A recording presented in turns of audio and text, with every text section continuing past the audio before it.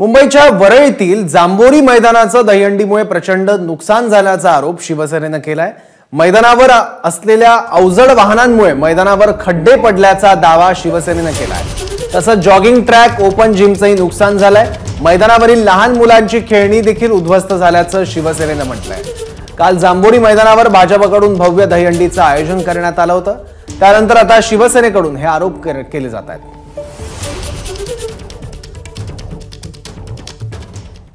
दरम्यान जांभोरी मैदान उद्ध्वस्त झाल्यानंतर शिवसेना नेते सुनील शिंदे आणि भाजपचे आशिष शेलार यांच्यात वाद रंगलाय. पाहूयात. आम्हाला या सगळ्या गोष्टीची कल्पना होती आणि म्हणूनच आम्ही त्या ठिकाणी आमची दहीहंडी न करता ती स्पॉट बदलून दुसऱ्या ठिकाणी घेतली.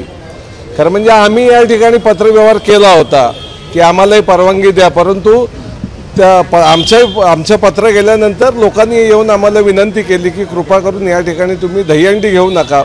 याच्यापूर्वी कार्यक्रम केले ते ठीक आहे परंतु दहीहंडीमध्ये येणारं त्या ठिकाणचे गोविंदाच्या माध्यमातून येणारी लोकसंख्याही जास्त असेल.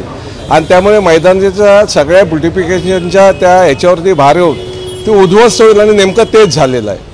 गेल्या महिन्यामध्ये सुनील शिंदे यांचे जवळचे त्यांच्या युवा सेनेचे कार्यकर्ते यांनी केलेल्या जत्रोत्सवानंतर झालेली झालेली नुकसान भरपाई सुनील शिंदे यांनी पहिल्यांदा द्यावी. मग भाजपला प्रश्न विचार. दरम्यान जांभोरी मैदानावर भाजपच्या हंडीचं आयोजन करणाऱ्या आयोजकांनी शिवसेनेच्या आरोपावर काय प्रत्युत्तर दिलंय? पाहूयात. सतत गेल्या दहा दिवसापासून इथे पाऊस होता त्यामुळे आम्ही इथे भुसा वगैरे टाकून गोविंदा पथकांसाठी ती व्यवस्था केली होती. आणि जे लोक विरोध करतायत या या एवढ्या मोठ्या प्रमाणात या लोक या ठिकाणी गोविंदा पथकांनी सहभाग घेतला आणि वरडीकरांनी त्याचा आनंद घेतला. त्यामुळे जे विरोध विरोधक विरोध करतायत त्यांना ते पचत नाही आहे त्यांना उलट्या होत आहेत असा माझा त्यांना आरोप आहे.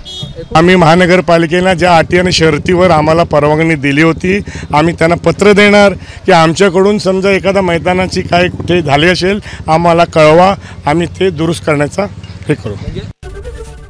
एबीपी माझा उघडा डोळे बघा नीट.